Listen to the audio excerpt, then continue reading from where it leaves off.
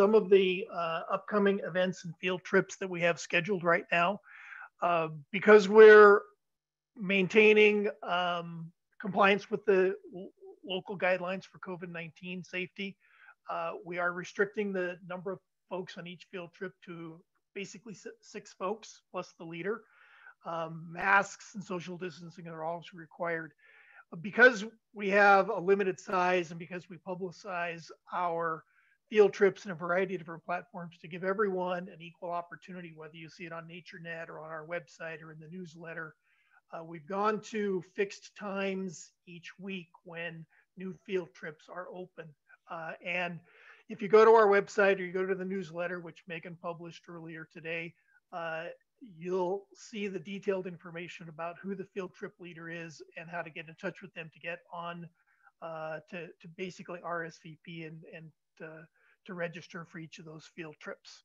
So that's um, one, one good thing there. So um, other things that are new, um, as we talked about last month, but many of you weren't here, um, at this point, our Christmas bird count is on provisionally. Uh, December the 20th is our date. Uh, we are expecting to get some formal guidance from the National Audubon Society, who oversees the, the overall Christmas bird count activity. Today, uh, they're telling individual chapters that we can use our discretion um, as far as the Christmas bird count. So we are on.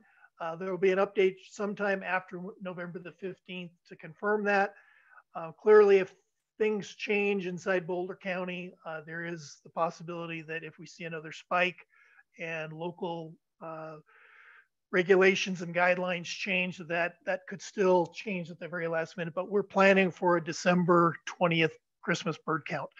We will not be having an in-person uh, compilation party after the after the CBC itself. Uh, we'll probably have something like this, probably a Zoom platform where we can uh, share our results and have an opportunity to talk about the day. Um, but uh, we will not be having the potluck dinner in person. Um, for much the same reason, the holiday party, which is normally part of the November uh, event, will not be held in person. We will still be having uh, a Zoom presentation with Scott Rashid talking about kestrels uh, for our November program, but there will be no face-to-face holiday party held in, in 2020. I want to give everybody a heads up that Colorado Gives Day is coming up. That's December the 8th. Um, this is an opportunity for all of us to contribute to our uh, favorite local nonprofits. Uh, we hope that you consider giving to BCAS as part of your giving plans. Um, and the last thing I'd say is that although Colorado Gives Day is December the 8th, uh, you're able to donate throughout the, the year to Boulder County Audubon or any other nonprofit who's a participant in Colorado Gives. Then, then um, a little bit of just sort of some background stuff here. Um, the board of directors has been working on adopting uh, revisions to bylaws that were last updated in 2004. We completed that process uh, and uh, we unanimously adopted revisions at our last um, at our last meeting. The main focus here is to just get things up to up to current um, current best practices. Um, we have modified our election procedure somewhat. Members will elect directors, and then the elected board of directors will elect officers.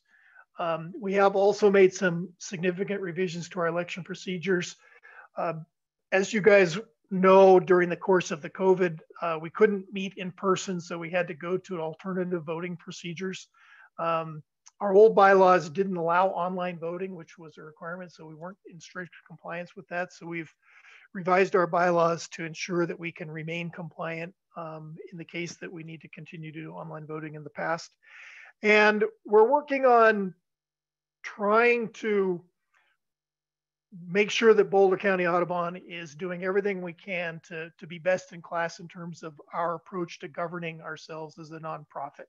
And so we've, one of the steps there is that we've uh, established a, a, standing governance committee, which will be involved in uh, managing the uh, nomination and election process for directors, uh, but we'll also be working on developing uh, policies and, and procedures that we think will put us uh, on par with the best practices for nonprofits here in Colorado as we as we go forward. Okay. All right. Um, now I'm going to um, introduce for you a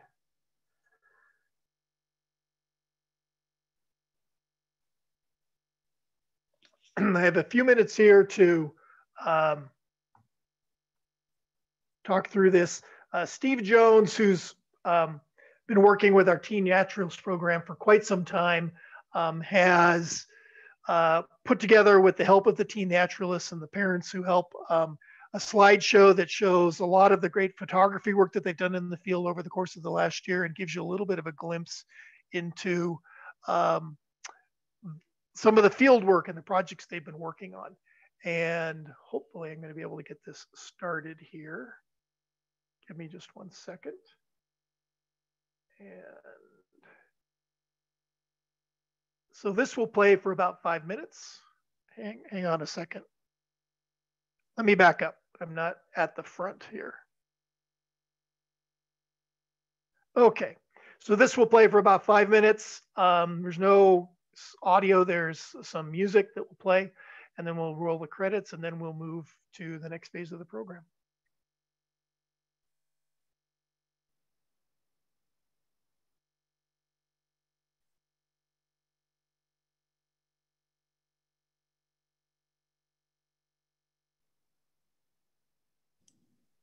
You need to share your screen.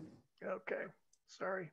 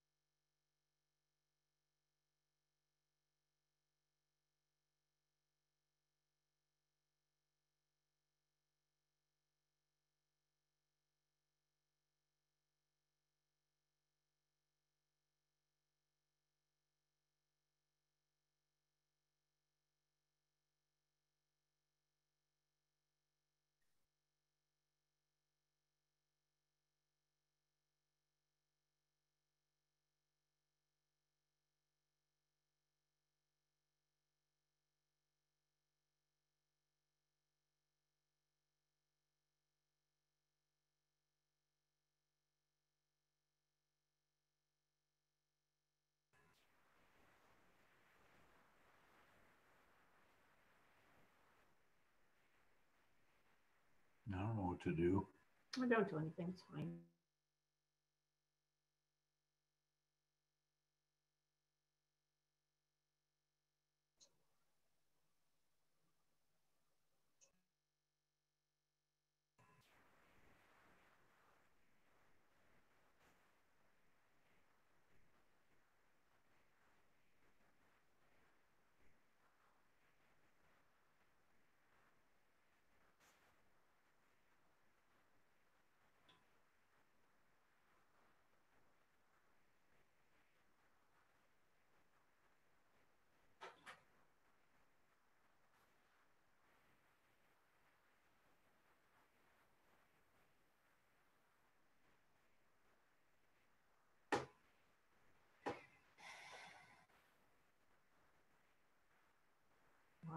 Unusual butterfly. Mm-hmm.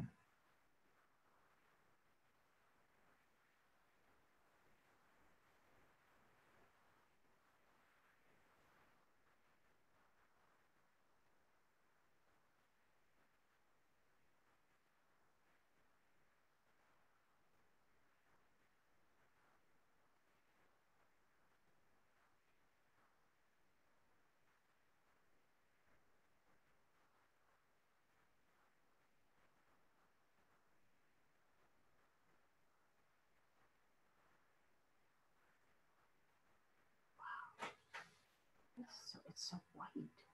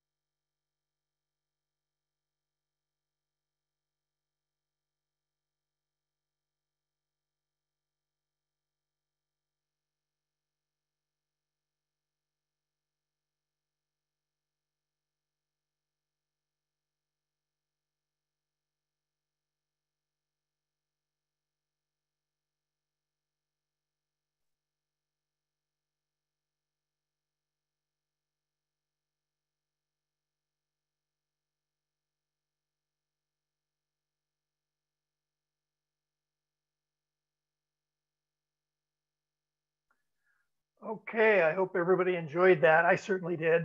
I want to thank all of the teen naturalists who've contributed their their photographic work. Uh, I want to thank Steve for all the hard work he does in organizing that, the parents who support the kids and Steve and the other members of our uh, membership who help on field trips and various other activities. So thanks very much. With that, I'm going to turn it over to Carol Campert, who will introduce our speaker this evening.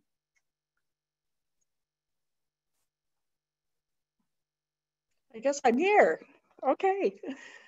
Um, I don't think I need to introduce Dave Leatherman to many of you. You probably know him from his many articles on birds the, that he writes the column for the Hungry Bird and gives us all insight into how birds and insects are so interdependent and that if you, but I always remember on field trips with Dave where I've gotten to know him is that if you see that looks in distress like holes and black and funny things on then that's a good sign because that means it's there's food there for the birds.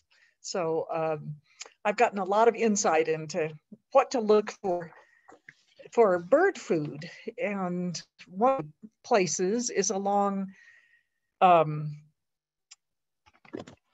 fences in the Pawnee grasslands and other places, barbed wire fences where logger, loggerman's shrikes have, um, I should say, loggerhead shrikes have uh, impaled their prey. So now every time I see a uh, barbed wire fence, I look for lizard heads and, in, and beetles and everything else that those shrikes are saving or using female loggerhead shrikes. Fun getting to know him. So thanks, Dave, for coming down for Fort Collins. He's a, a Ohio State graduate, grew up in Ohio, and uh, a BF, BS degree in, at Marietta College and in forestry. And then, a, um, or excuse me, in biology, and then a master's in forestry from Duke University in North Carolina. And uh, he's a retired entomologist. He was he worked for the Colorado State Forest Service for 32 years. And he writes journal Colorado Birds and reports to, uh, to COBirds from the Grandview Cemetery. I'm sure you've seen his reports on all the wonderful stuff that goes on in the Grandview Cemetery in Fort Collins. I love to see his reports on COBirds. And you find out all kinds of things about those psyllid, in those psyllids birds like to eat, which I never knew about before. It's really fascinating. And um, so I'm at that, with this, I'm just gonna say, Dave, uh, thank you for coming and welcome and for sharing all of your knowledge and enthusiasm about birds and insects. And tonight, spiders, arachnids and their webs. This is a little deviation from his usual bird insects. And I'm really looking forward to that, to seeing, hearing more about my favorite animals. Go ahead, Dave.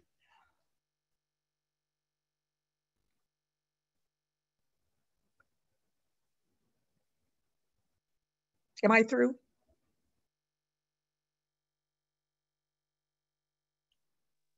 Dave, you have to unmute yourself. Look at the bottom left of your screen. Do you see that? Where there's the microphone? And click on it because you're still muted. You can, can you hear me now? I'll get up and I'll. Can you hear me now? Yes. Okay. Um, no, I'm not sure what I got to do here. Um. I don't see the share yeah, screen uh, thing get up and anymore. Let me do it. it's easier for me to do it than to try to tell you what to do. Ugh.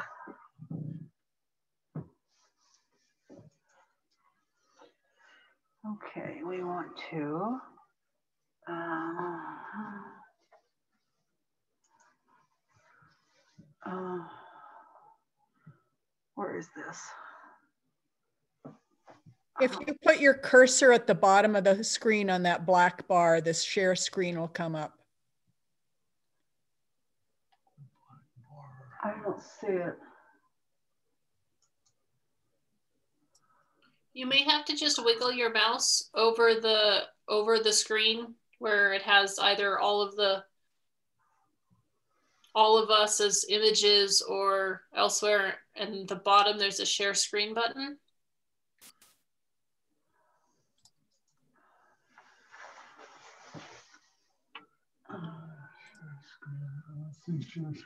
We don't see share screen, that's the problem. Um, It's You to the have a, right you have a black bar at the bottom of your screen. To the right of participants. There's chat, then share screen. Well, unfortunately, we're on the, um, Is there a black bar on the bottom of your screen? Uh-uh. hang on, we're, we're on the presentation. We're trying to, let me, so you, when you're uh, Carol, when you're on the um, the you need to be on the Zoom window, not the I'm trying to be, window. but here we go, share. Oh, no, I don't want to do that. Yeah, I don't know what's happened. Um, sorry, we had this, and I don't know, there's okay. The Zoom thing has kind of gone away. We've got Uh, the presentation up, but I don't know how to get it. Uh, So what are you currently seeing on the screen? Well, I see his presentation, but um, I don't know where to, how to, Somebody had suggested trying alternate Alt S. Do you want to try that, Carol? there we go. Okay, thanks, Karen.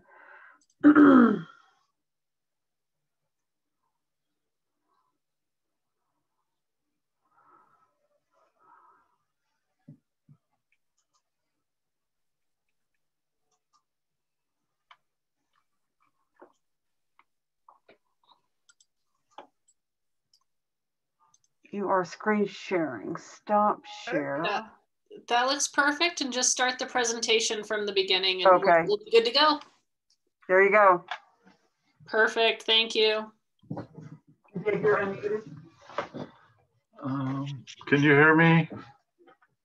Can everybody Loud everybody? and, hear- hear? loud and clear, yes. Okay, so, uh, sorry about this. Uh, I guess my first admission is that I'm a 71 year old virgin. And so I'm asking you to be gentle. Uh, This is the first Zoom thing I've ever done, obviously, and I'm at somebody else's computer. Um, I am not a spider expert.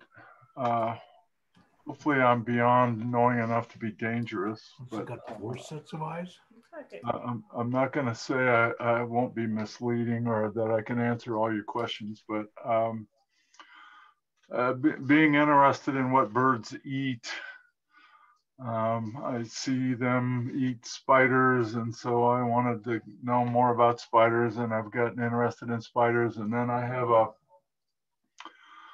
my girlfriend Janelle Thompson in Lamar, Colorado is a photography buff and she got interested in photographing spiders. And the idea for this talk kind of came about that I wanted to show off her photography. And so that's what hopefully we're going to do a lot of. That picture on the first slide is hers. And we've had a lot of um, interesting time on taking spiders out of the refrigerator onto her kitchen counter and uh, having sessions. My job is to make them smile and she takes their picture. So um, I think we'll move to the next. Let's see here. So uh, uh, the background for my screen, which my face, which Carol picked out is, uh, she had that picked out before I got here, but I think it's kind of neat in terms of uh, spooky Halloween spider talk. So it, it looks kind of good. And uh, I'm amazed at uh, how much I look like a certain politician. So if a, pol- a fly lands on my head, it's not me. Um, anyway, uh, so there's a lot of questions that come up regarding spiders, and anybody who's been at the end of a telephone. As um, an entomologist, you get a lot of spider questions because uh, everybody thinks spiders are insects, and uh, a lot of these questions you should be able to answer when we get to the end and I'm not going to go through all these, but uh, they're all questions that uh, come up a lot. Um, so let's get through the taxonomy of a spider off the bat here so that we kind of have the, the setting. Um, that thing at the bottom, KPCOFGS, uh, I learned it a different way in college, but if you can remember, King Philip came over for good soup. The first letter in each one of those words is the order of these various taxonomic breakdowns kingdom, phylum, class, order, family, genus, species, and you could substitute a lot of things for the S at the end. Uh, sandpiper, sex, whatever you want to put there. But um, so we're in the animal kingdom. Uh, the phylum Arthropoda. Arthropods are the joint-legged animals. Uh, class Arachnida, spiders and relatives. The order Araneae, spiders. So here are the five subphyla. So this is a category kind of between phylum and class um, of, of the arthropods. Uh, trilobites, which we all know what they are and that they're extinct. then the chelicerates, and I found out from my buddies at CSU that I've been pronouncing this word wrong my whole career. It's not chelicerates, it's chelicerates. Uh, chelicerates uh, involve some extinct sea spiders, and you can see some great uh, fossils down at the Denver Museum of Nature and Science.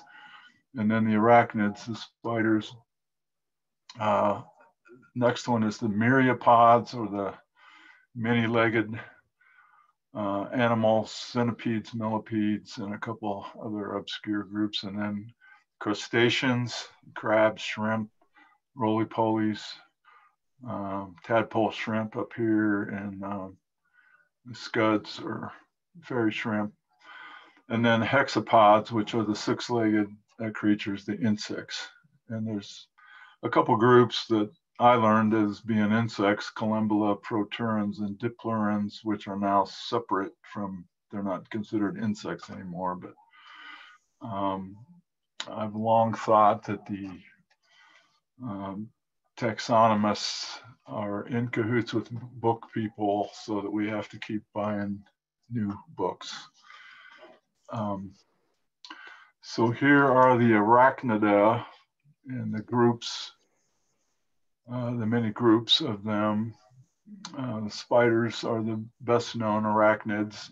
And we have scorpions, which are not really insects related, mites, ticks, uh, daddy long legs or opilionids. Uh, the solifuges, which have a lot of different names, but most people call them sun spiders uh, horseshoe crabs. If you are from the Atlantic coast, you've seen horseshoe crabs and know that they're some kind of special creature, whatever that is. and miscellaneous others like the uh, little pseudoscorpions that you find under the bark of trees. So I want to get uh, daddy longlegs and these giant camel spiders out of the way uh, first. Uh, so daddy long legs are not really spiders. They're uh, in a separate group, these opilionids. And I saw this situation in this picture at the cemetery where I go all the time. And I thought this has got to be not good for one of the two.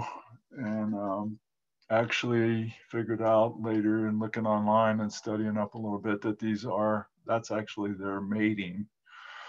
Um, I don't know. It looks pretty violent, but uh, suffice it to say they're into it. Um, uh, they have a lot of different names. Harvestmen is another name for it. They are not poisonous, and a lot of urban legends exist about daddy longlegs being the most poisonous creature out there, and that they can bite you, and um, they have no venom, no fangs, and they cannot break the skin so they are perfectly harmless to us. Uh, most of them are scavengers, and um, part of the confusion comes from the fact there are some spiders that also have the common name of daddy longlegs. And as all of us naturalists know, uh, sooner or later you figure out that common names can kind of be dangerous because somebody's common name uh, for something is somebody else's common name for a different creature, and thank goodness for scientific names where you can only have one genus and one species for each organism.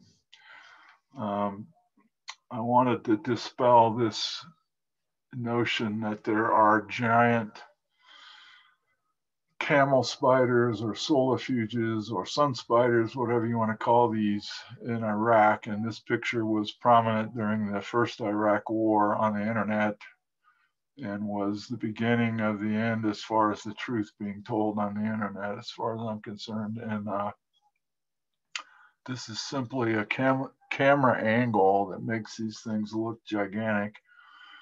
And they are not, they're small, they're maybe an inch long, and you've probably seen them uh, in Colorado. They're not super uncommon. And uh, Dr. Paula Cushing down at our Denver Museum of Nature and Science is probably the uh, best person for this group in the North America, and she's trying to work out the taxonomy. And um, I'm, I'm glad she is because they're very interesting creatures. So here's here's this big group of arachnids again. You don't see any insects on there. Insects and spiders are not related. Spiders are not insects. Um, mites and ticks and daddy long legs are not spiders. Spiders are a separate group. So the word arachnid is uh, from Greek mythology. And Arachne was a, a mortal human who uh, was bold enough to get into a contest with Athena, the Greek goddess of wisdom and crafts. And then her uh, other mistake was that she outdid Athena in this weaving contest, which got her, according to legend, Greek mythology, bopped on the head three times with a spindle. She tried to commit suicide, but uh, was brought back to life by um, Minerva or Athena and uh, assigned to weaving for the rest of her life. And uh, it's an interesting story. Uh, and spider comes from the Anglo-Saxon word spinon, which means one who spins. So here's Minerva chasing Arachne in this uh, famous painting. Um, gonna bop her on the head with the spindle for beating her in the contest. And it kind of reminds me of uh, some stuff that's going on these days when you certain people outdo other people. That's the that's the reaction we're getting. And I don't know, it's crazy. Um, I need to go back. How do I go back? Um, so here are features of spiders. Uh, they have eight legs, as we all know. I talked to preschool kids, and now they know spiders have eight legs. Um, uh, these kids are very smart at a very young age nowadays. I, I worry about the social stuff, but they got their facts down better than I sure did when I was four. Um, eight eyes, except for a couple families have six. And uh, if you get into spiders and you want to try to figure them out, of course, the first um, first job is to decide is that really a spider? And once you figure out it is a spider, looking at their eye arrangement, the pattern of the eyes is a very important starting clue. And pretty much each family has a different arrangement of these eight eyes. So um, you got to stare them in the face to start figuring them out. And that may be hard for some of us to overcome. But I assume if you're getting into spiders, uh, you're past that point. Um, they have two body regions, unlike insects, which have three um, are the mouth parts, and they have these uh, kind of a a set of lo what looks like very short fifth set of legs up around the mouth, which are the pedipalps. Uh, the chelicerae are in two parts. Uh, the paturon is what we see for the most part, and then inside of that and coming out when they really need to use them are the fangs. So think of the paturon as like a holster, and the fangs are the taking the knife out of the the holster or out of the sheath. And um, a lot of times when we see a little jumping spider and it's staring at us and we see those bright green we're calling them fangs. And really that's not the fangs. Uh, that's the paturon that we're seeing. And the fangs are up in there and, and usually black. Um, most all spiders are terrestrial. There aren't any uh, seagoing or saltwater spiders, um, none that live underwater. They have no antennae or wings. They're carnivorous.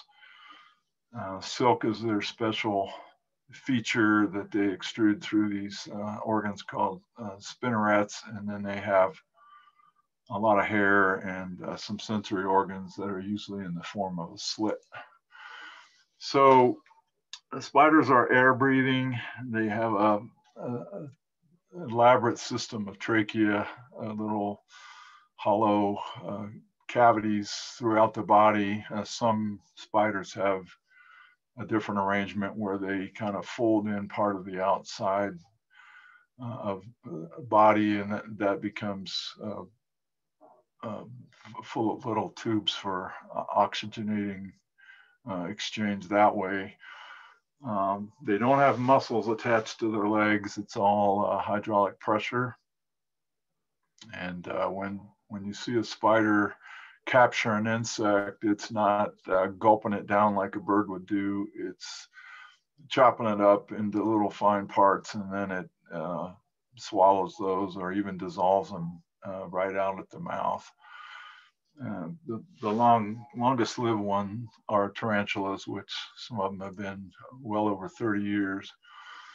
Uh, by the numbers, uh, I guess birders can relate to this 800 species in Colorado. We have 500, uh, 500 plus birds now in Colorado. So spiders are a little bit more numerous than birds, but I guarantee you uh, most of us have never seen more than uh, 50 probably. But um, that's because uh, most spiders are very, very small. Most spiders are in the duff down in the leaf litter and um, to really see spiders, you've got to get down and sift through leaf litter and really uh, use magnification to see the great, great majority of them. Um, so I don't, I don't know who the person was that sat in their office and figured this out, but 25 million tons of spiders are thought to eat about 400 to 800 million tons of insects a year in the world. Uh, I mean, that's sort of like Ted Floyd saying he, he saw a pterodactyl at three in the morning. Who's going to prove him wrong? But um, uh, I, I don't know where, how this calculation was come up with, but uh, sounds good. Uh, and I would say that uh, over the years, I've tried to figure out how soon do I have to get the kids before they're not afraid of insects. And I kind of gave up at preschool. Uh, kids are already hate them or love them by the time they're four. But I think there is a period when we are taught or we have an experience that makes us fear insects. Spiders and snakes, on the other hand, I'm almost beginning to think that those that's an instinctive thing. Uh, the way snakes move, the way spiders move. I think that's that's maybe something we're born with, and we have to learn otherwise. So, but it goes both ways. Um, spiders are just as afraid of us as we are them. Um, thank goodness for the far side. I wish that thing was still going. Gary Larson, don't go away. Um, spiders can be very, very small. And this is a little jumping spider, an immature jumping spider. But there are adult spiders that are even smaller than this one, uh, po poised on a dime here. And this is one of Tennille's pictures. Um, pretty cool picture. So here's the body parts of a spider. And if you remember, we said they have two main body parts the, the head and the thorax in a spider are combined into one big part called the cephalothorax. And then we have the abdomen to which uh, the legs are all attached to the cephalothorax, just like the legs are attached to the thorax of an insect. And you can see, um, so these are the two main body regions, cephalothorax and body. The head is part of this big front region. And then uh, the legs are kind of um, broken down the way we define insect legs.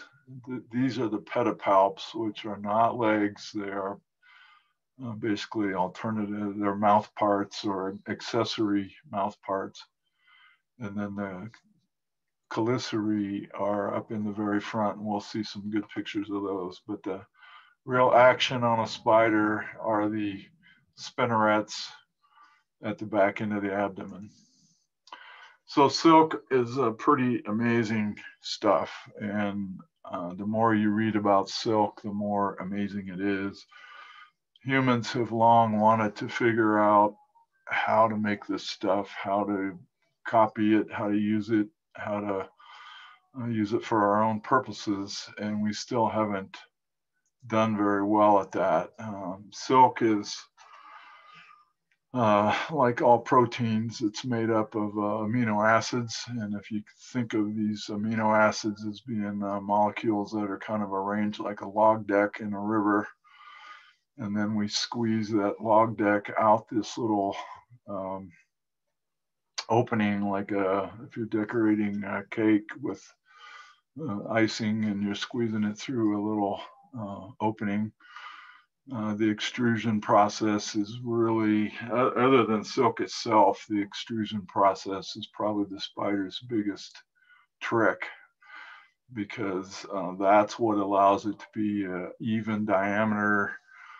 uh, amazingly precise, uh, like it was, you know, designed by a, an engineer. It, it, comes out this perfect diameter, and uh, the, ex, the, extrusion process is what does that.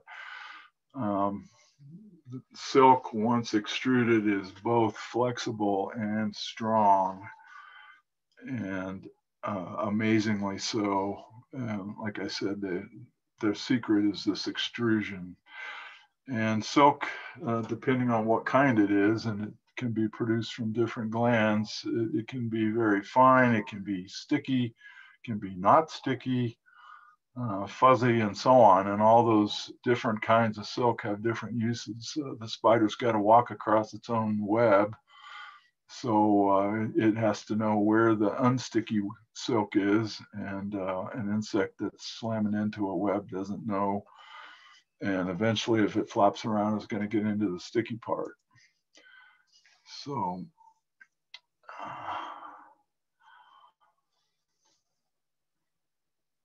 so here's Stan, the spider got stuck in his own web and he obviously forgot where to walk.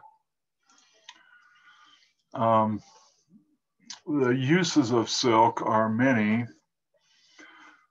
Trapping prey, you know, catching things to eat is what we think of first, but little tiny spiders will spin out a long strand of silk behind them and uh, they're so lightweight and the silk gets to a length where it becomes uh, trapped by the wind and pulls the spider along with it. And the spiders go through the air sometimes for many miles uh, through this process we call ballooning. And so silk can be used for getting from point A to point B through the air by capturing the power of the wind. Uh, they can lay a silk down and just follow that as a, a like a trail. Uh, so they on the ground on a terrestrial site they can just lay down silk and use that as a way to get across something. Um, female silk has pheromone in it, so it smells like a female, and the males will follow that pheromone laden silk to find her for the purpose of mating. Uh, of course, they they use silk to cover themselves up and to cover their eggs up uh, to shelter them from predators and from the weather. So here we see Stan, or Bill the spider, this time it's Bill, and uh, he's trying to catch flies and he's got his fly decoys out there and his web is set and uh, luck is in the air. So here's a drawing that my son did for a book by my buddy Whitney Cranshaw that shows a little spider emitting a long strand and it keeps coming out and keeps coming out and finally it gets to a length that's long enough. Uh, the spider doesn't do this unless it's uh, adequate, adequately windy. They point their abdomen up in the air and begin releasing the silk, and eventually it's lengthy enough that it catches the wind and off they go. So they can they can disperse by this ballooning. They can, of course, walk, and then a lot of spiders uh, hide in our uh, hay bales and our uh, equipment that we lawn furniture that we move from Massachusetts to Colorado and uh, hitchhike on our uh, objects on our accumulated bounty. So you've probably uh, seen a spider web, a good orb weaver web, and seen this funny little zigzaggy part of it and wondered what is that? So the million dollar word or $10,000 word, I think that's too many letters for Scrabble, but it might impress somebody at the bar if we're ever allowed to go back to bars. But uh, that's called a stabilimentum. And it's thought that they put that in the web to make the web more easily seen by birds so they don't slam into it and ruin it. But uh, by doing so, they um, also reduce their catch by 30% or so because insects see that thing too and don't go flying into the web. So there's a trade off. Um, I guess I'd rather have 70% of my insects flying into this than one bird. Um, so spiders are obviously part of, food webs. Uh, not to, it's not a pun. Uh, um, a food web is a good name for uh, the whole chain of things that eat each other from big to little. But um, spiders are, are major. We just don't see uh, other things eating them that often. And you have to really want to see it to see it. But um, they think some habitats might even have a hundred thousand spiders per acre. Then an acre is like a football field. So they are super abundant. And if you're afraid of spiders, then I guess I don't know where to tell you to go because they're in your house too. Um, uh, most spiders, like we said, are very small. They mostly eat insects and mites. Some spiders specialize in other spiders. Some even eat fish. Um, webs uh, sometimes capture birds, and I'm not sure how many spiders actually partake of the bird. I think that's mostly accidental, and the spider probably moves and builds another web. Um, but spiders are food for a lot of things, and so I just put this little wheel together showing all these different creatures that love to eat spiders all eyeing this poor little spider in the middle. Um, this is a, an amazing tiger salamander that my grandson Trey caught on his playground in Denver. And he took it home for a pet and fed that thing crickets, and this thing grew into a monster. And so that's Trey's happy tiger salamander. Um, but this one group of spiders, the Pompilids, Pompilidae, uh, they they strictly provision their nests with spiders. And this blue and orange one is the tarantula hawk. That is probably the biggest wasp in Colorado, no doubt. And if you've ever been in southeastern Colorado when these things are flying around, uh, you probably uh, are less than relaxed when you see one of these things flying toward you. They're giant. I mean, they're, you know, three, four inches across the wingspan, and they are. Their spider of choice is the tarantula, so they got to be big. And I've yet to see a, a tarantula hawk and a tarantula have a duel out on the prairie, but I'd love to see that sometime. I think that happens mostly at night. Um, but I think I want to see that. That's on my bucket list. These uh, a lot of these spiders that we call mud daubers provision those mud cells that you see on the side of your house or on a bridge abutment or whatever with spiders and a lot of spider surveys rely on uh, finding those mud dauber west, uh, cells and breaking that mud apart and, and letting the spiders do the sampling for them. You can find out a lot about what spiders are in the area by looking at those. It's kind of a mean trick, but somebody's got to do it. Um, I gotta brag about this little spider because this is the one spider that, or the one wasp that I have found that was new to the planet. Um, uh, it gets really hot in Lamar.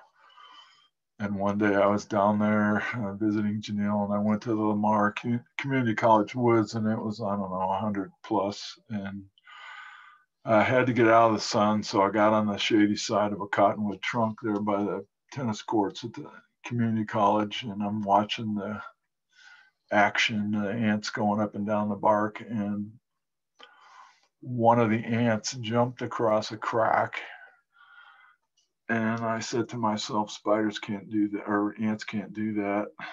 And I caught it, and lo and behold, it had wings.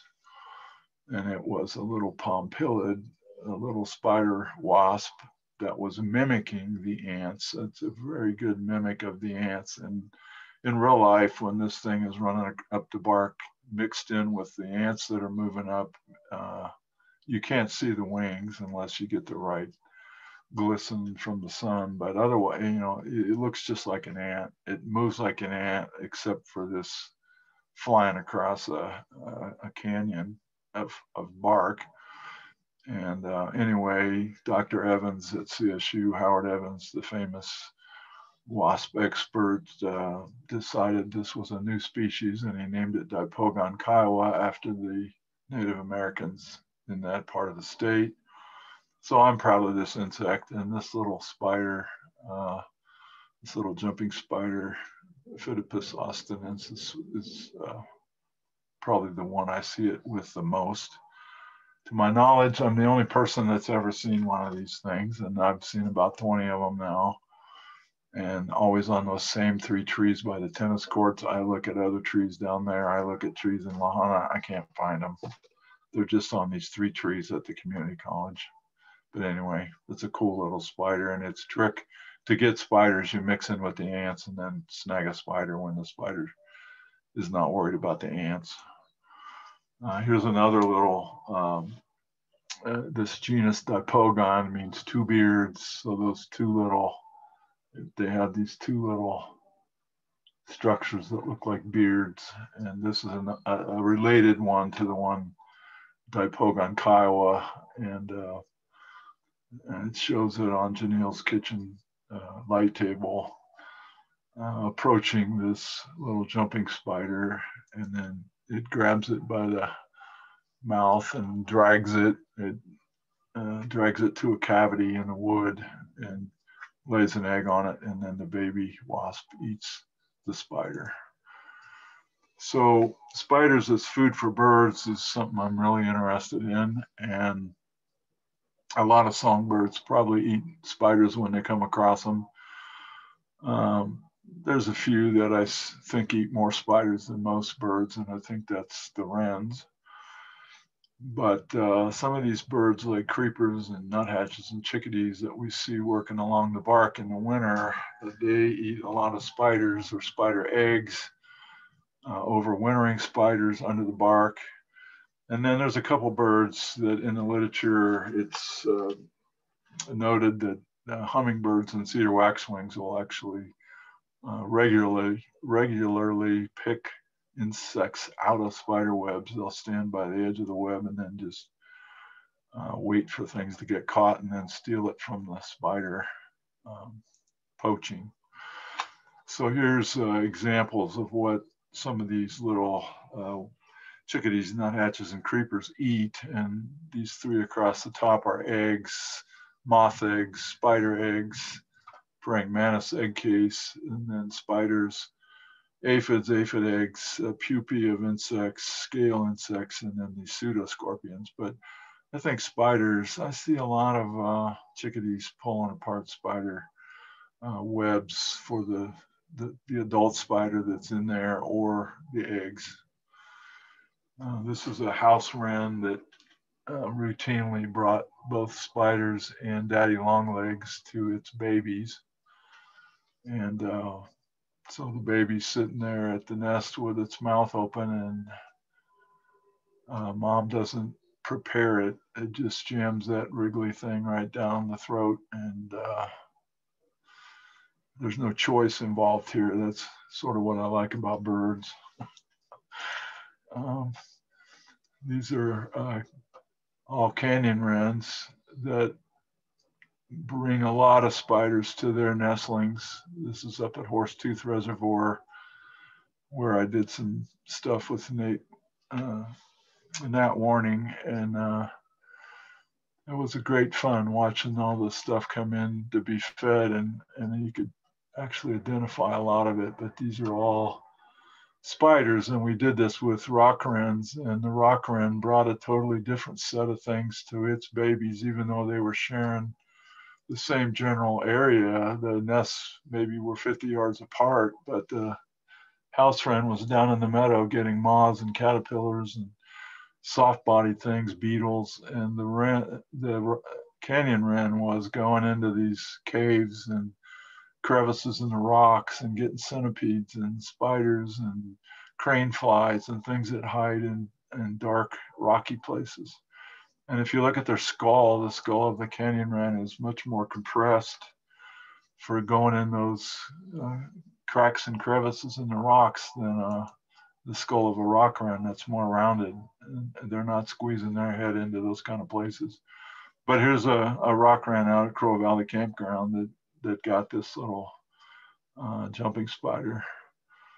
So I, I think wrens eat a lot of spiders. Uh, my friends, the loggerhead shrikes, um, they they definitely uh, get some spiders, uh, big ones, and they probably eat small spiders and just uh, eat them right away and don't uh, impale them or catch them on a fence or a thorn. And I want to talk a little bit about this thing that Rachel uh, Hopper figured out. So here's here's some spiders impaled on barbed wire, and uh, they, they're almost as big as tarantulas, some of these wolf spiders. And I, I, was pretty excited. The first wolf spider I found on a fence post. I've only seen this three or four times, but uh, uh, this kind of illustrates what I've tried to show the shrike classes over the years is that each group of uh, animals that a shrike finds, they got a different way of uh, sticking them on the fence and uh, the art of impaling, as I call it.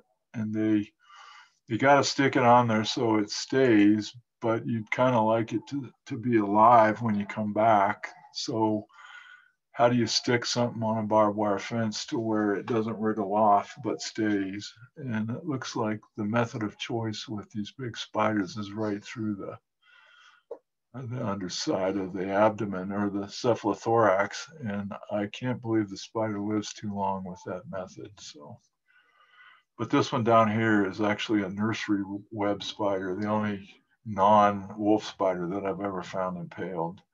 But I got a feeling if the spider's big enough to impale, it would be impaled. And so the holy grail of, of shriking will be to find, we've already found a rattlesnake. So the next holy grail will be a, a tarantula. Um, but anyway, when you're out there looking at um, barbed wire fences, trying to find things that shrikes have impaled, you notice spiders run the barbed wire fence like the interstate and uh, they hunt the, the barbed wire. And here's a, um, a jumping spider with a, a wasp. And this is a type of fly called a small-headed fly. And they are parasites of flies. So what this fly does is lay its eggs in places where they when they hatch, they're likely to encounter uh, spiders. because they want their kids to climb up the leg of the spider, burrow into the gut of the spider, and feed on it. So uh, here's this barbed wire where spiders are running, and here's this barbed wire where shrikes are impaling their larder on the fence. And here's what Rachel found a lesser earless lizard impaled on the fence, covered with small headed fly eggs. So either they knew spiders are going to be running along this fence or that ballooning spiders might land on this lump on the barbed wire fence and be a place where their kids might encounter a spider. So I thought that was pretty amazing that this is all an ecosystem. This barbed wire is a big ecosystem, big web of life, and all this stuff's going on out there. And then one day I'm out there looking at uh, a, a, high rabbit brush on the top of a hill, which is also covered with these uh, small-headed fly eggs because I think the small-headed fly knows that more spiders are going to deposit out on the tallest bush on the tallest hill. And here's a spider eating the small-headed fly that's trying to lay eggs that will parasitize it. And it's just a big, big bad world out there. Very cool. Um, so here are the major spider families that we have in Colorado, jumping spiders, uh, crab spiders, and on down the list. And most of you probably would recognize uh, several of these if you saw them. Uh, orb weavers are probably the most celebrated spiders in this book. Charlotte's Web is talking about this one spider that's back east, uh, cavat, uh, cavaticus. And uh, one thing that kind of a generality we can make about spiders is the ones that we uh, that have webs, not all spiders uh, weave webs that are designed to catch things. Uh, those spiders usually have poor eyesight. They're relying on their web to find their prey for them, and then they're very sensitive to movements. And so you touch a, a orb weaver's web, and I, it'll come running out to see what did that. And but the the hunting spiders, like the little jumping spiders that don't weave webs to catch their food, they have very good eyesight. And you can have a jumping spider maybe two, three feet away from you and you move and it, it'll turn its head and watch you. So uh, spiders that make webs have poor eyes usually, and the ones that hunt without a web have good eyesight.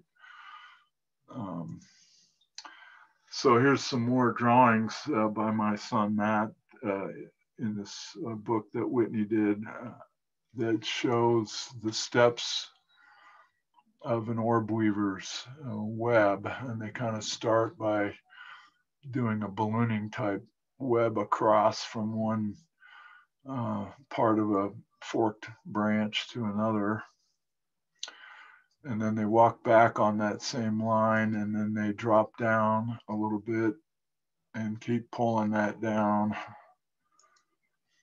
and then they go back up and and swing via the wind out to make another spoke or jump out there and they start making the spokes on the web.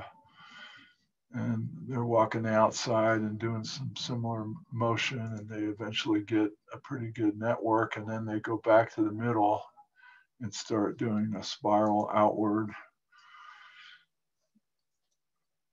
and then fill in the side uh, branches with more webbing and again remember some of these are sticky and some aren't and so the spider knows how to work work its way around this thing without getting stuck in its own web. But these little fine ones are sticky. And then uh, Larson understands all this and he's pretty awesome, his cartoons. But um, so here's a spider that Janelle took in her backyard. This uh, spotted orb weaver, and it's actually a lot of orb weavers make a new web every day.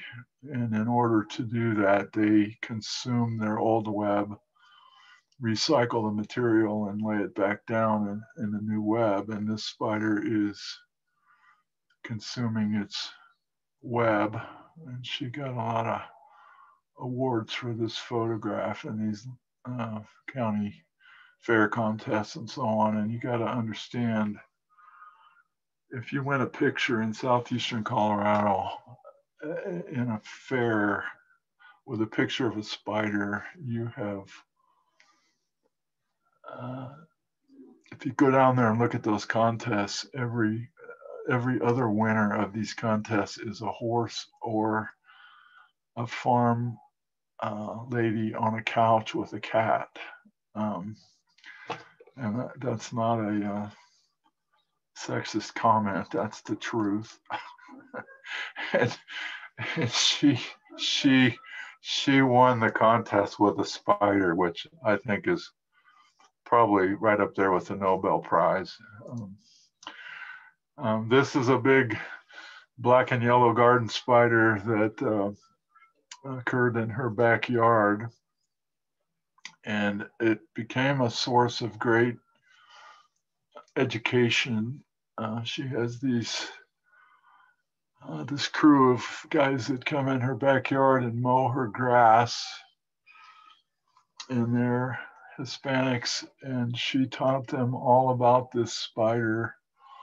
And they loved this spider, and they loved coming to her yard to see the spider and what it was doing, and what it had done today, and what it had caught.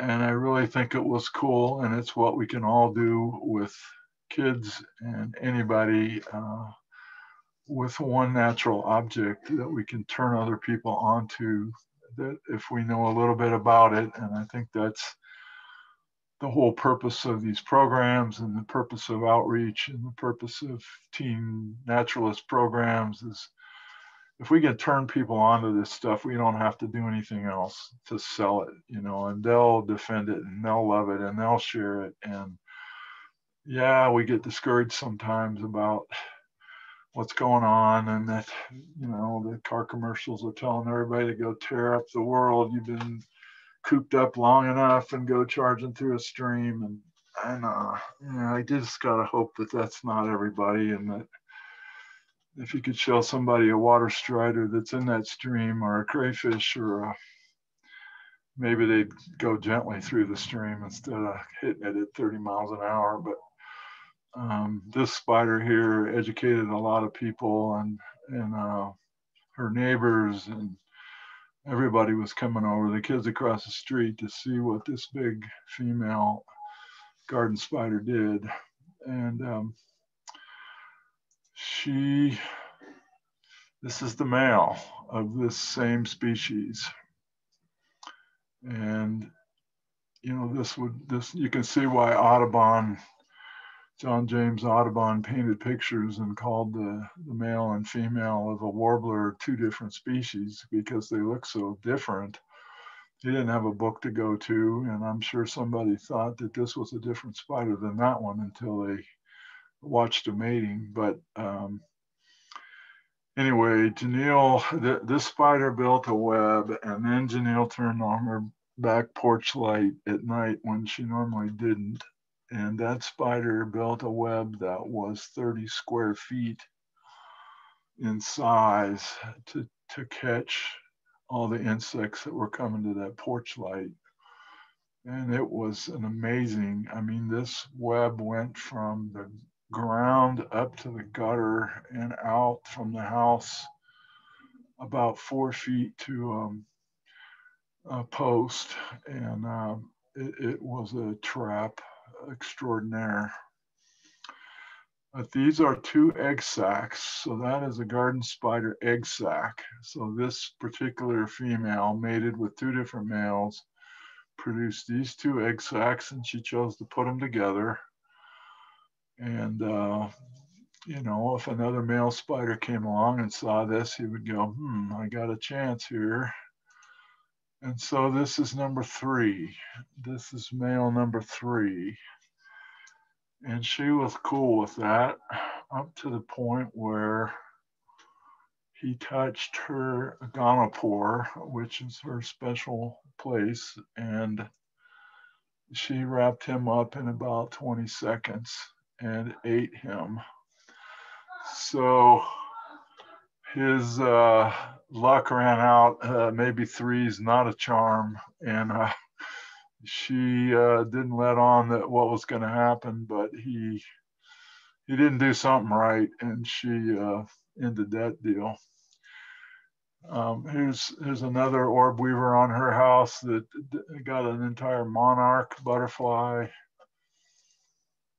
Um, this is another big spider that we probably have all seen in late summer, early fall. Araneus gym, gemmoides, and this is called the cat face spider. And, and these things get pretty big. They're tan and lumpy, and you see them on your outbuilding, an outhouse, or uh, maybe a fence that's got an overhang. And uh, my buddy Whitney uh, Cranshaw up at CSU decided uh, a neat idea to raise uh, spider awareness would be to have a cat face spider contest. How big is your cat face spider? And he's uh, 2019, a year before COVID, was his 11th year doing this. And uh, a spider that that we saw, I saw this spider in Janelle's backyard, and I said, you know, this thing is getting huge, and you want to think about entering this in Whitney's contest. Her granddaughter, Rhea from Denver, visited a couple times during the summer, and she took a shine to this catface spider, and they I don't know if this is kosher or not, but they did ad- admittedly kind of toss some stuff in the web to help it out a little bit. And the spider kept getting bigger and bigger. And anyway, um, I got fearful that this thing was going to lay an egg mass and lose two thirds of its size. So on one of my return trips, from going down there, I brought it immediately to the campus at CSU, ran into Whitney's lab and said, weigh this, weigh this sucker. And he it and it blew away everything that he'd ever seen in 11 years was 25% bigger than the second place one, the previous biggest one, which was, I don't know if you guys, can you guys see the whole screen? Um, anyway, the previous champion was named Barack Obama, and um, Princess Rhea, named after Rhea, blew away Barack Obama, and is now the biggest one we know of. So. I imagine once uh, COVID goes away, Whitney will resume this contest. So if you learn what a catface spider is and you see a really big one, um, be aware there is a contest where you could uh, give Miss Rhea, Princess Rhea, a run for her money. But this is Princess Rhea. That is Princess Rhea. It was a big spider.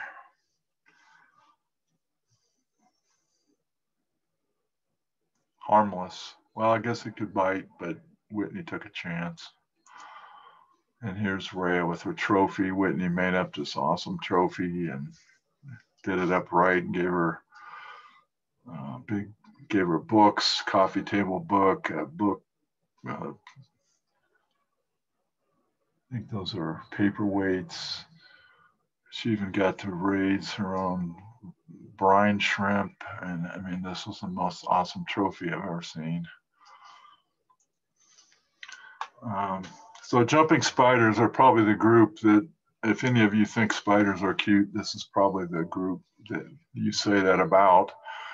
Uh, they're hunting spiders. Um, they can jump uh, several times their body length and probably were the inspiration for that spider that jumps all the way across the room in that goofy movie Arachnophobia that sets back all um, environmental education five years every time it shows. But um, they have great eyesight, two great big eyes, and then some little ones for uh, light and dark. But the two big ones actually uh, have an, an, image. And uh, um, if you look up peacock spiders online, you're going to see some amazing uh, mating rituals. It's worth uh, going into YouTube to see this peacock spiders.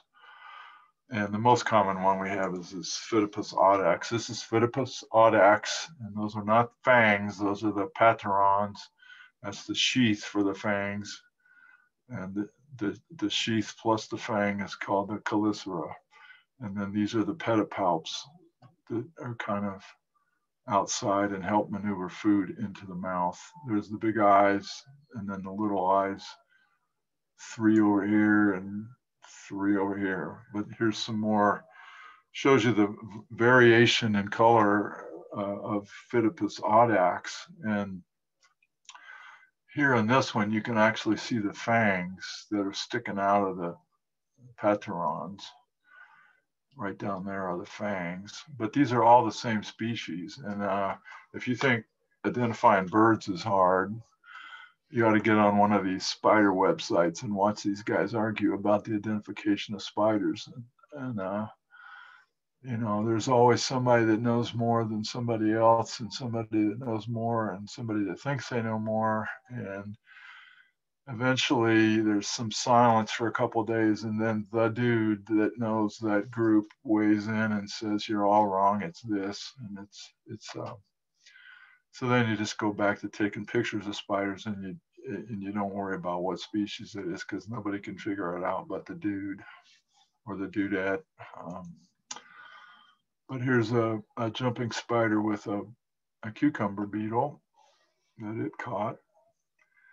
And I think these photos are awesome that Janelle's able to take on her kitchen counter.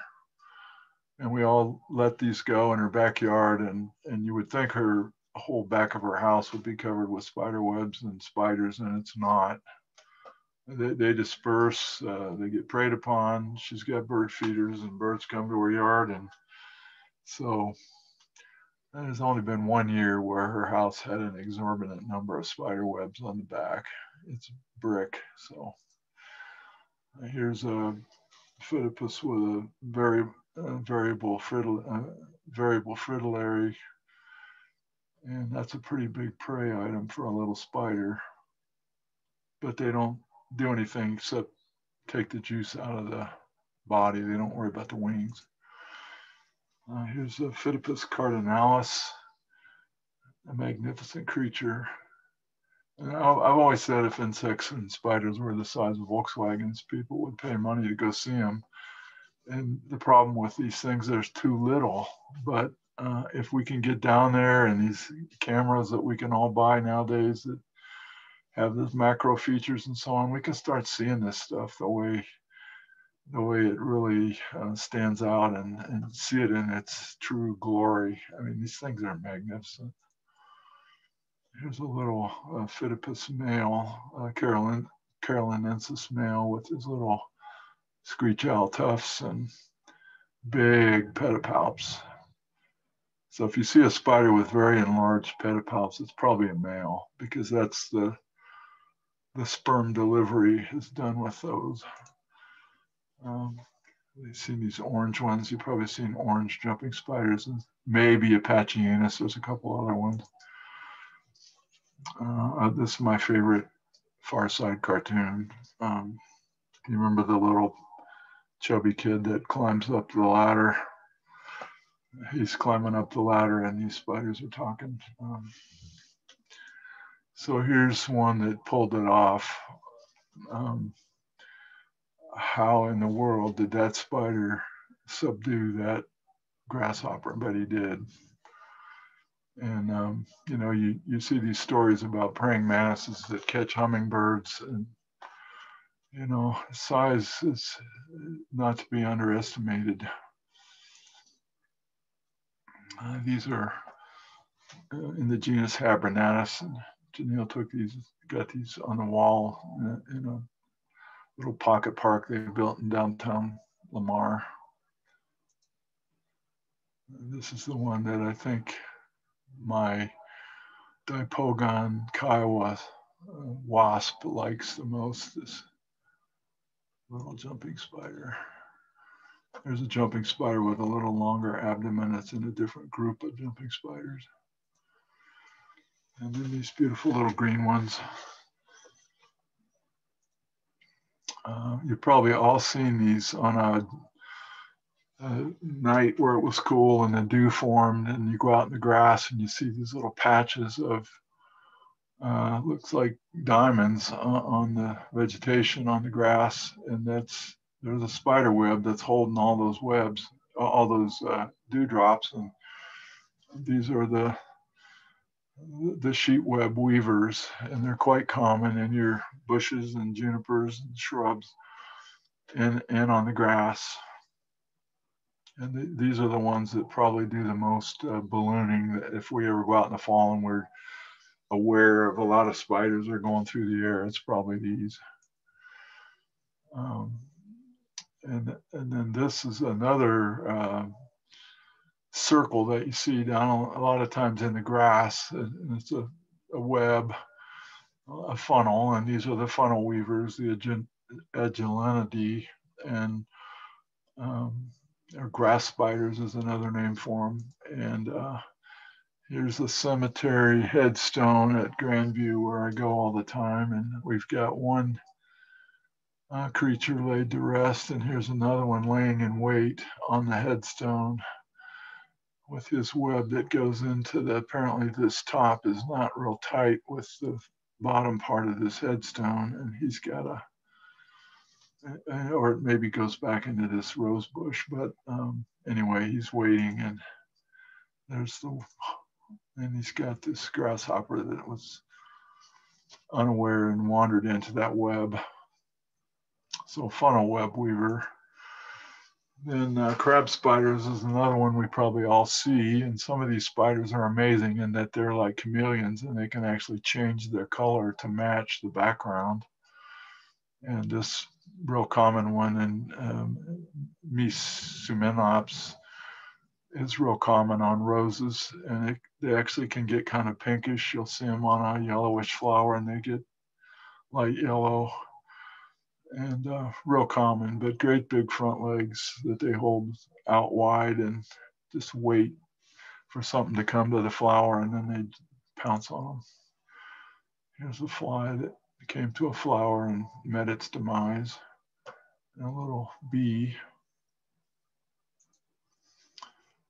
Here's a crab spider with a beautiful uh, fruit fly or fruit fly.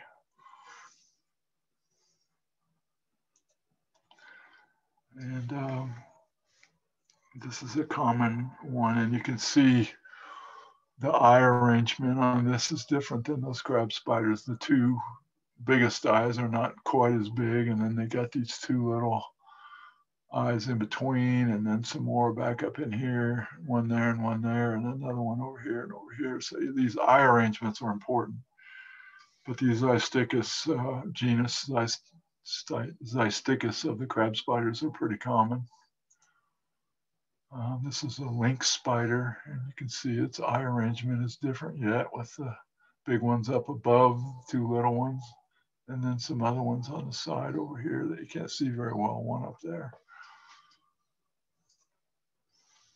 And if you see one of these great big spiders on a rock in the river, it could be a wolf spider, but it's probably one of these fishing spiders in this family Pisauridae. And that's a face only a mother would love. Uh, looks like um, Sasquatch or something, but um, big, big spiders, you know, maybe four, four inches across, five inches across sometimes. Very big on rocks, big boulders in the river, usually running water place and they're they will catch small fish uh, and other insects like water striders, maybe water beetles. Uh, some of these spiders uh, mimic ants, like the pompilid that I showed you, the spider wasp. And this is a great example of a uh, a spider wasp or a, of a a, spider that's an ant mimic and quite colorful. Uh, here are the wolf spiders. Probably most of the spiders we see are the ones that catch our eye in our house and scare us in the basement or when we're out raking the leaves or whatever are wolf spiders. And some of them are pretty large to the point where I don't know, over the years, I probably got a hundred of these sent to me thinking they were tarantulas. And uh, to our knowledge, we don't have tarantulas north of uh, uh, much north of I-70 on the plains, or uh, we have three species probably. Uh, it's up to debate, but uh, we have one around Cañon City, then one over on the west slope, and then one on the southeastern plains. And uh, these spiders are almost that big, these wolf spiders. But they've got um, uh, eight, eight eyes in the front, and the, they're pretty easy to identify by looking at this eye uh, structure, four and four. Uh, unequal size, two rows, but pretty big fangs or paturons with fangs inside of there. And here's a, a spider wasp hauling off a wolf spider that it found. This was down by Kim. I think I saw this one down by Kim on the Comanche grasslands. And it, the spider's not dead, it's stunned. And they bury him alive, then lay eggs on him. So the, the young wasps, uh, the, the larval wasps, are feeding on live, uh, fresh food. Um, but then we have the we do have tarantulas and it took me a long time before i picked one of these up even though whitney said they they're very tame they're very tame they're very tame. It's like yeah but man that's hard to do to go out and just pick one of these up. And i've done it now a lot and um, i took one of these to the state fair to a booth we had at the state fair and we had over 300 people handle this one spider that we named Fowler because he was found near the town of Fowler. And uh, we didn't have any incident.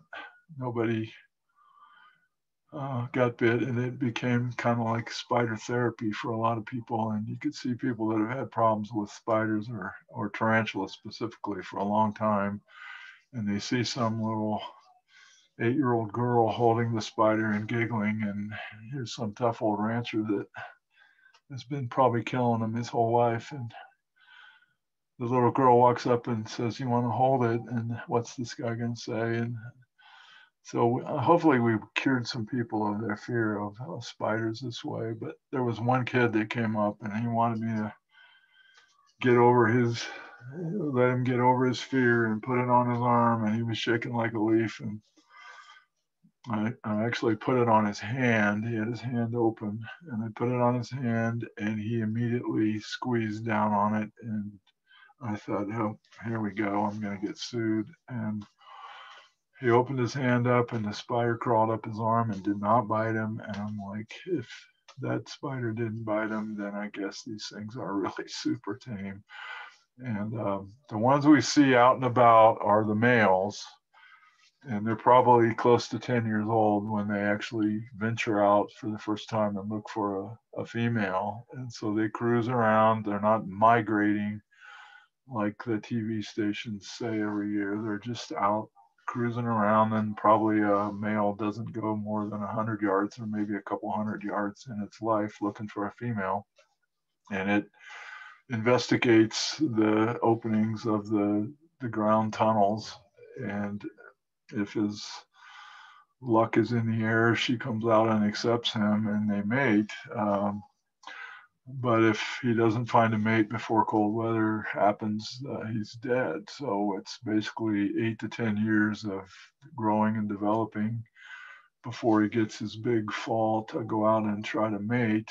And uh, he's either successful or not. But uh,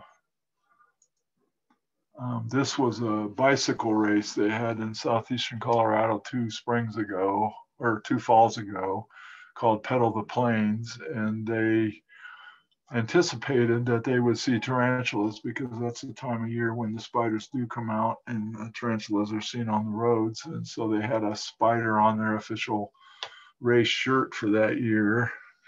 And as luck would have it, hardly anybody saw one. But they called CSU to see. This is sponsored by Nine News in Denver, and uh, or the Denver Post, and they they called CSU and they wanted somebody to be at one of their water stops with a tarantula to show the the bikers while they were resting and drinking water to just bone them up a little bit on the tarantulas that they had been seeing. Well, as it turned out, uh, my buddy Whitney couldn't go, and I was going to go visit Janelle, so I said I would go, and uh, he gave me a tarantula to take down for show and tell, and most of the riders had not seen a single one on their ride, and so they were thrilled to actually see one, and they got to hold it and put it on their face and put it on their helmet and do selfies in it. They totally exploited this poor uh, Oklahoma brown tarantula, which we nicknamed Merle for Merle Haggard up here. It looks kind of like a jumping spider, but um, anyway, th this was a tarantula brown that got totally abused. And by the end of uh, 50 or 75 bikers uh, doing selfies with him, he actually got very tired and we had to just say, nobody, you know, we're, we're just going to show it to you, but we can't do this um, putting them on your face and everything. And uh, uh, he kind of rested up and we gave him some water and we let him go at the end of this session. And he immediately began, began crawling west from Lamar back to where he was caught, which was on uh, Route 109 going from Lamar or from La Junta down to Kim. And he, he, you know, we turned him around. He'd always turn back and go west like he knew where he came from and where he wanted to go. So hopefully Merle made it, but he's the most celebrated uh, spider, at least among bikers in the history of Colorado. Um, but here's these these big tarantula hawks, and uh, uh, they're quite quite a big spider, and they usually win these contests with the spider with the tarantulas. Um, so a lot of questions from the public about spiders in home in homes, and the, this famous line that you're never probably 10 feet from a spider in your house is probably true. And it's a lot of the um, uh, the weaver spiders, the cobweb weavers, like include this black widow is that's probably the most common arthropod in the world uh, are, are, these sheet web weavers um, you know, on the whole, they're certainly beneficial uh, on the you know grand scheme. They're very beneficial, and there's just occasional problems that have created all this fear amongst humans. But um, uh, not very many can actually breed in your house.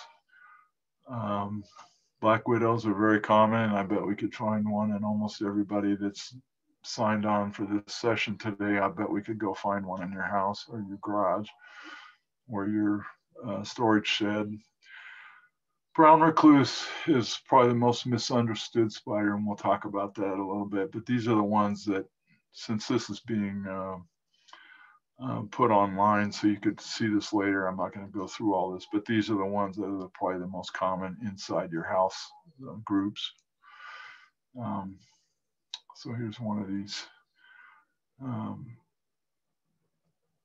that you commonly see that uh, I don't, for some reason, I don't particularly like these spiders. They give me the creeps. I got to admit it.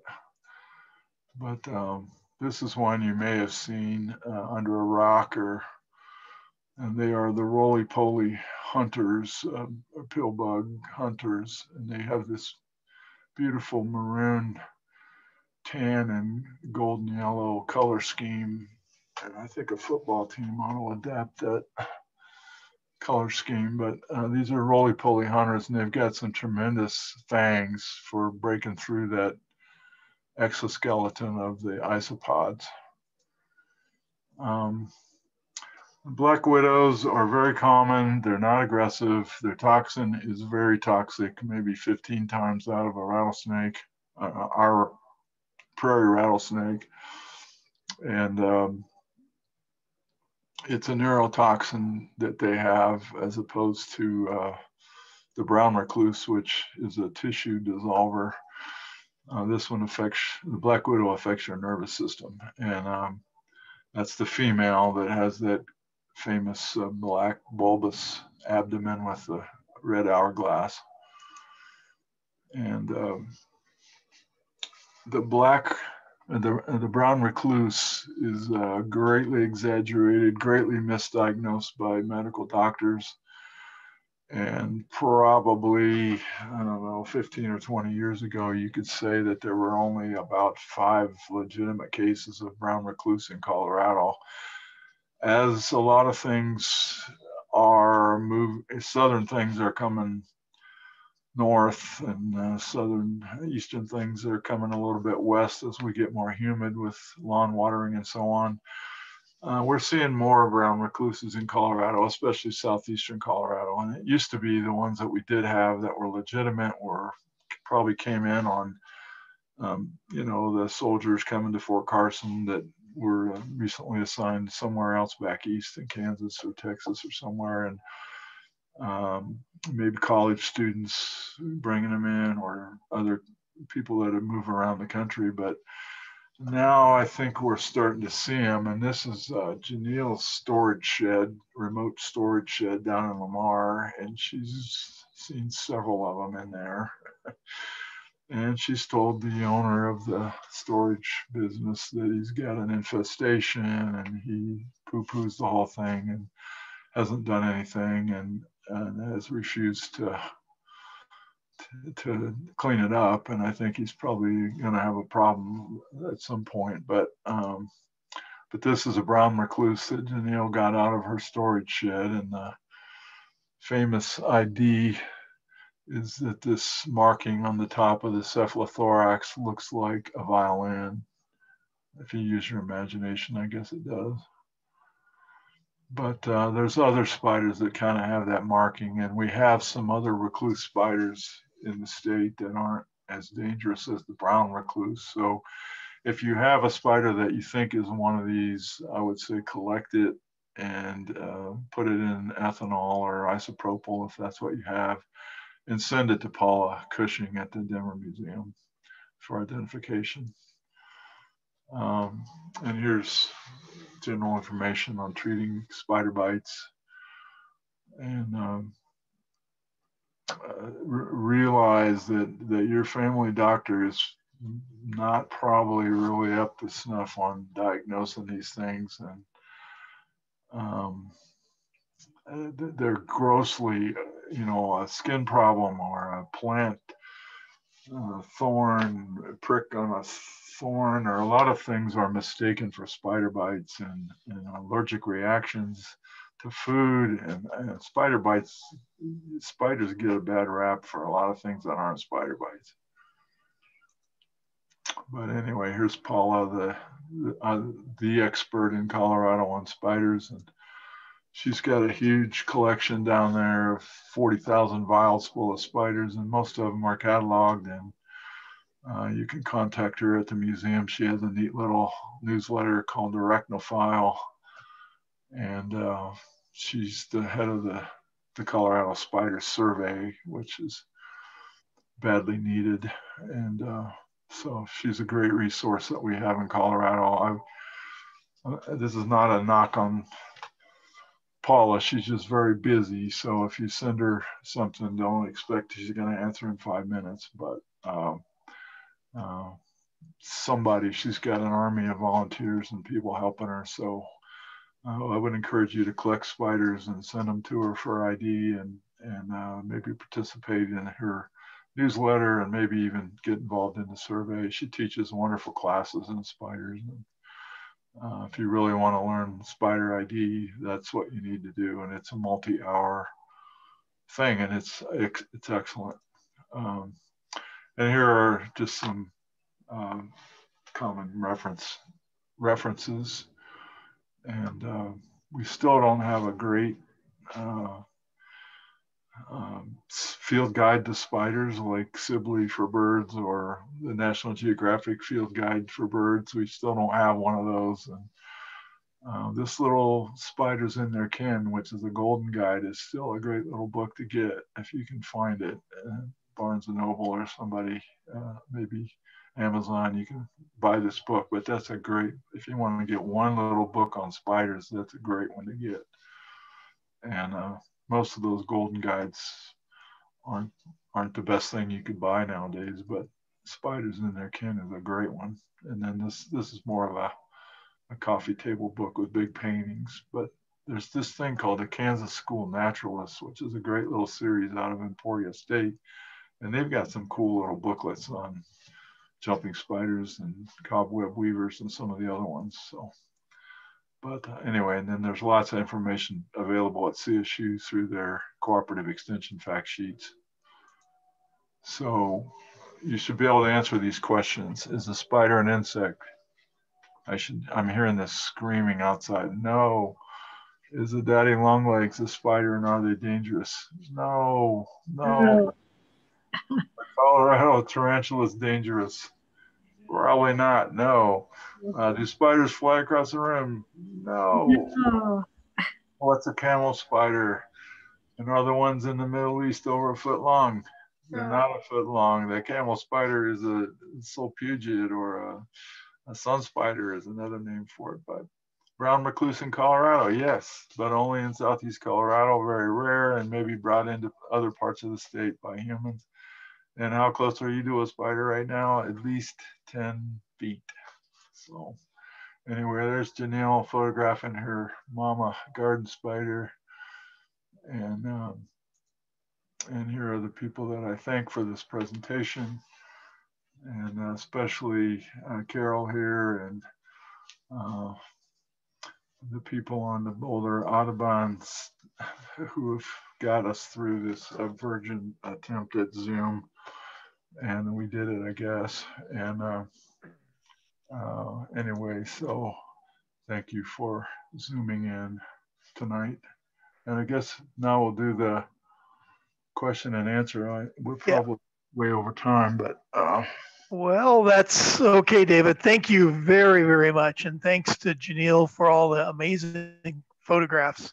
Yeah. Um, as far as questions go, if you have a question for David, let's type it into the chat so that we don't have a lot of people talking over one another trying to unmute.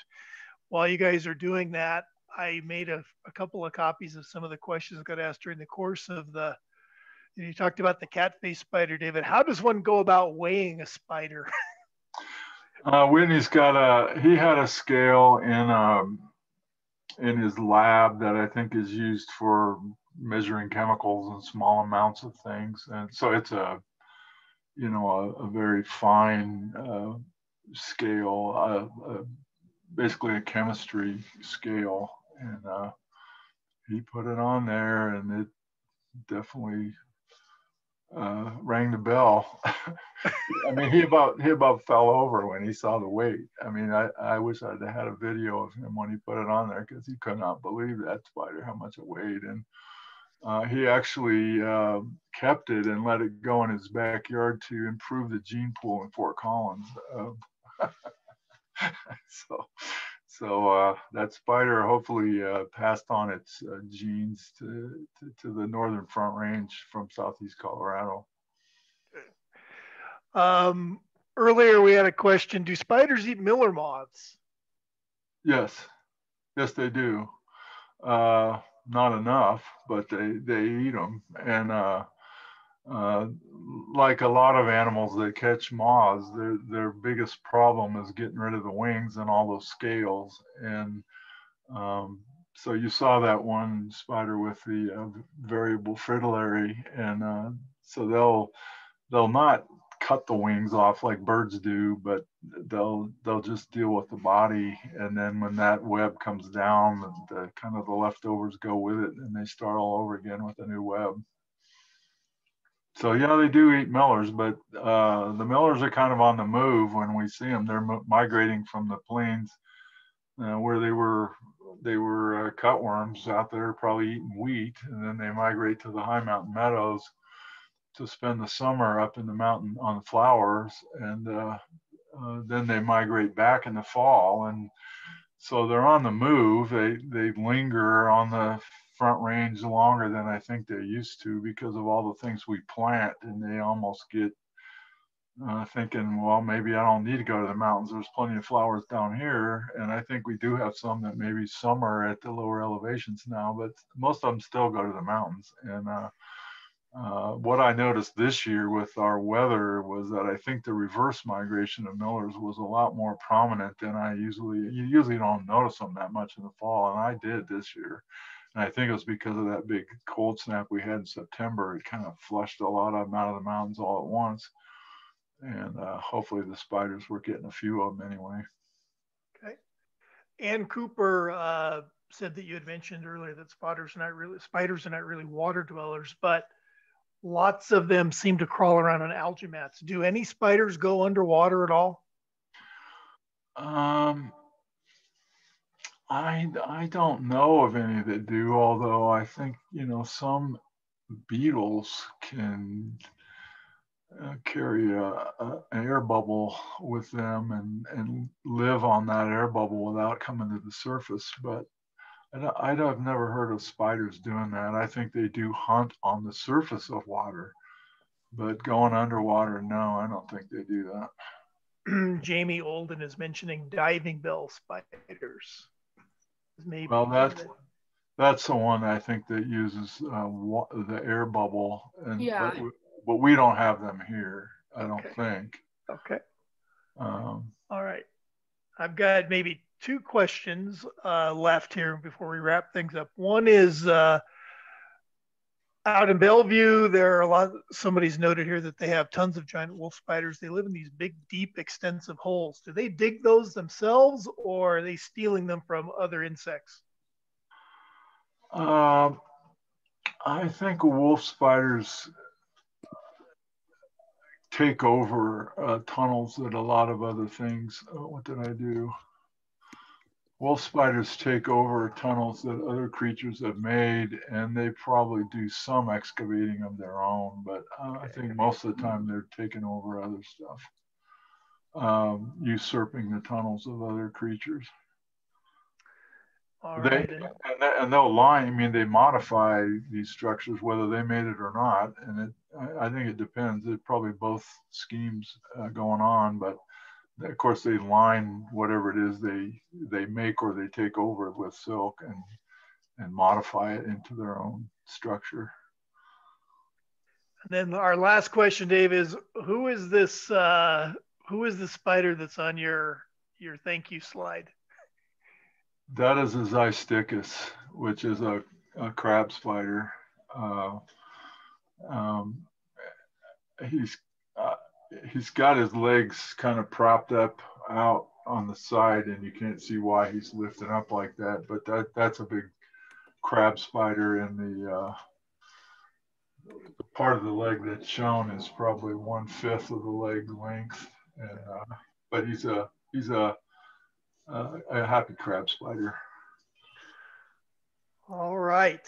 Well um, thank you. Some of our um, attendees tonight who have seen your presentations in the past and spent time with you. We're glad that you made it back to Shrikes. because so you didn't disappoint in that regard. We, okay, we yeah, very yeah. much appreciate you making it back to that. For Yeah. those of you who are still with us, uh, we will get this on our YouTube channel. And if you head to our website, Boulder County Audubon Society website, uh, you should be able to get a link to our YouTube channel in the next few days. Um, in the meantime, David, thank you very much. okay Our Thank you. November presentation will be again on a fourth Tuesday, 7:15, and that will be Scott Rashid talking about uh, kestrels and some of the work he's done with those birds. But David, thank you very much. This was Okay. a, a great a great presentation, thank you and uh, we really appreciate your time and all right and uh, thanks a lot. thank, thank you for uh, being gentle no problem. It was uh, very informative. We all appreciate it. all right all right Thanks, guys, and thank you for attending tonight. Um, we'll see you in a month. Thanks a lot. Thank you. All right. Bye.